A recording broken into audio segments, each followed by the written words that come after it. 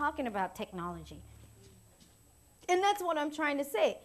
It's inner technology, and you have to understand what technology really is. You don't understand what technology is because every time we say technology, you're thinking this and that. No. Your body is the highest level of technology there is. That is what that is. And I don't I don't have my paper with the with the breakdown of the word right now, and I, I can't remember. But anyway, I define it on my website. I've broken it down according to um, techno and, and, and the other aspects of the word in terms of what it really does mean. And technology is really about taking energy and forming it into whatever it is energy, whatever it is you're choosing to form it in. That's really what technology is. And your body is that.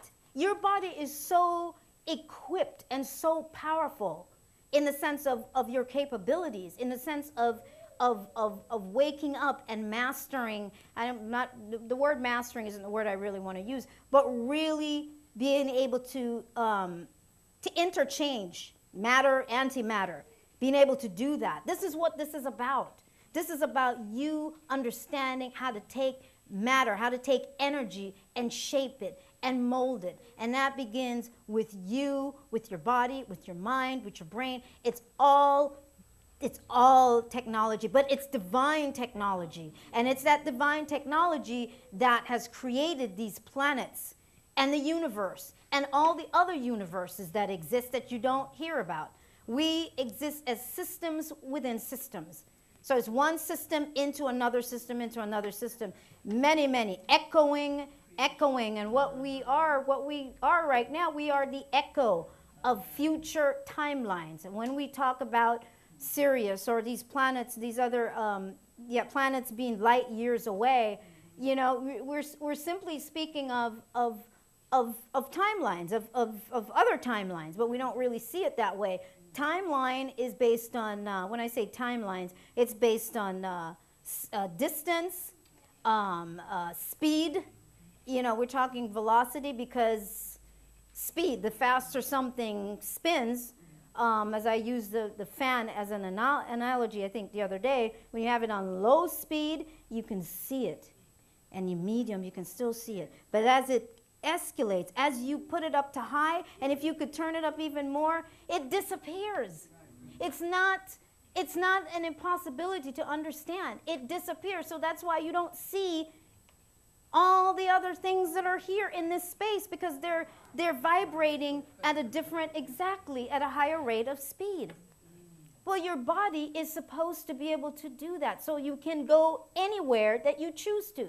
The only difference is when somebody said last week about uh, living forever, that's the misconception. Every time we think of that, we think we're here in this timeline. We think we're here, always in this body. No, you're not. You are evolving. You are ascending. You are ascending to different levels. That's what's going on. it's funny. you're you're ascending to different levels, and that's what needs to be understood. Now, we hear a lot of the New Age talk, they're talking about ascending and ascending, and I'm like, okay, but okay, where, where are you going? Where, what, where are you where are you going? I don't hear anybody telling me anything. We're just oh, we're just ascending.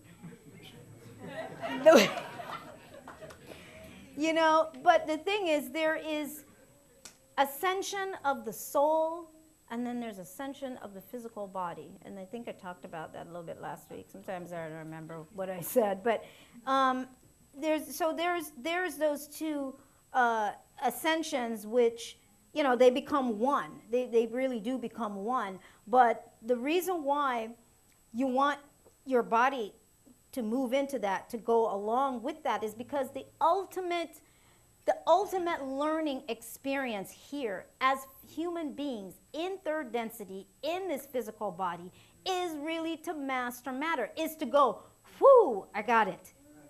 Whoo, I got it. And then you are soaring and you are taking on a physical, a vehicle according to where you've ascended to, to those points, those pockets of, of time or no time. If, if you are in a reality that is pure light or sound, that's what you will be. You will operate from that perspective. But it doesn't mean that your body has decayed. It does not mean that. It just simply means that the molecules of your body have shifted. They have, they have folded up. They are moving so fast but they move fast in, in terms of moving into the consciousness of that particular field of time that you're operating in. And these are things that are so important to understand because when you understand this, when you start to get this, you start to turn your body back on. You start to, to reactivate your body. And so when, when they talk about um, the Merkaba and uh, sacred geometry and, and some of these things and and I hear a lot of rehearsed, practiced things.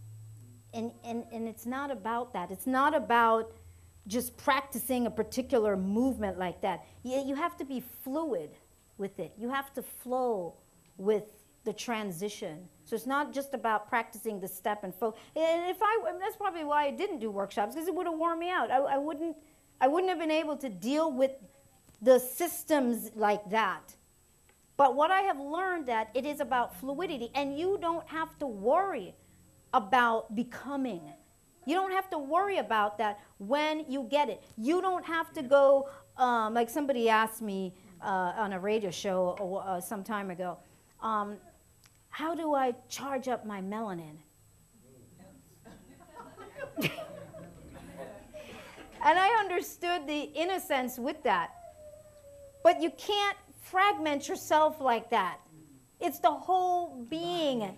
It's the whole being. Your consciousness is what's coming in and then reigniting your body, your cells. Your body will just go along with that higher vibrating consciousness and do what it needs to do, providing that you are aware that this is what's supposed to happen. But when you begin to fracture yourself like that, and like the doctor, you're going to fix this thing and then that thing and that thing. It doesn't work like that. This, this system works together. Mm-hmm. It works together. And the reason for the, um, I was going to say, the reason for the, the decaying process, and it just went out of, I mean, I have it here, but there's a specific thought I wanted to, to mention about that. Um, gosh, it just slipped my mind. But anyway, the, the reason for the decaying process is the shutting down or the, the, the limitation then of, the, um, of, of knowledge.